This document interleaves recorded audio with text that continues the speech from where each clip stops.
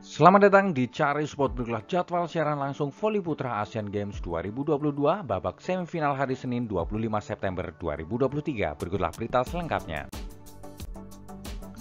Sebelum mulai, jangan lupa like, komen, dan subscribe, dan nyalakan tombol notifikasinya untuk mengetahui update terbaru dari Cari Sport. Terima kasih.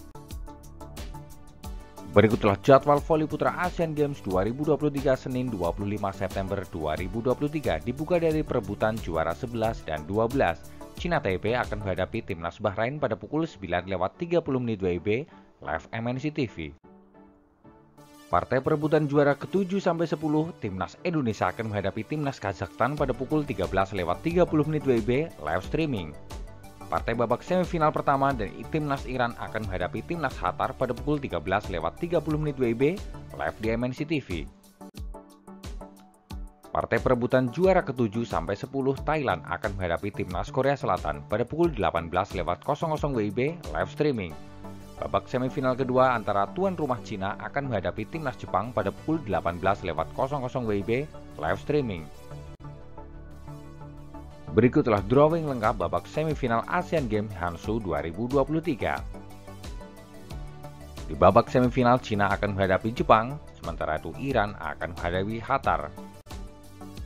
Berikutlah drawing lengkap perebutan juara 5 sampai 12 Asian Games Hansu 2023. Perebutan juara 5 direbut oleh India akan menghadapi Pakistan.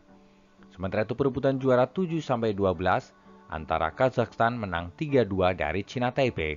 Kazakhstan lolos ke perebutan juara 7 sampai 10 melawan Indonesia. Sementara itu Korea Selatan menang 3-1 dari Bahrain dan berhak lolos ke babak perebutan juara 7 sampai 10 dan akan menghadapi timnas Thailand. Sementara itu perebutan juara 11 antara Cina Taipei akan menghadapi timnas Bahrain. Berikutlah daftar top skor voli putra sampai babak semifinal. Di peringkat pertama ada Keihan Takahashi dari Jepang dengan torehan 79 poin. Peringkat kedua ada Masahiro Yanagida dari Jepang 63 poin. Peringkat ketiga ada Yosef Auglaf dari Qatar 52 poin. Peringkat keempat ada Raimi Wadidi dari Qatar 52 poin. Peringkat kelima ada Zhang Jingjin dari Cina 48 poin. Dan di peringkat keenam ada Muhammad Ibrahim dari Qatar 44 poin. Itu telah jadwal siaran langsung voli putra Asian Games 2022. Ayo terus dukung tim Indonesia untuk berjaya di Asia dan di dunia. Jika kalian suka dengan video ini, jangan lupa like, komen, dan subscribe, dan nyalakan tombol notifikasinya untuk mengetahui update terbaru dari Cari Sport. Terima kasih.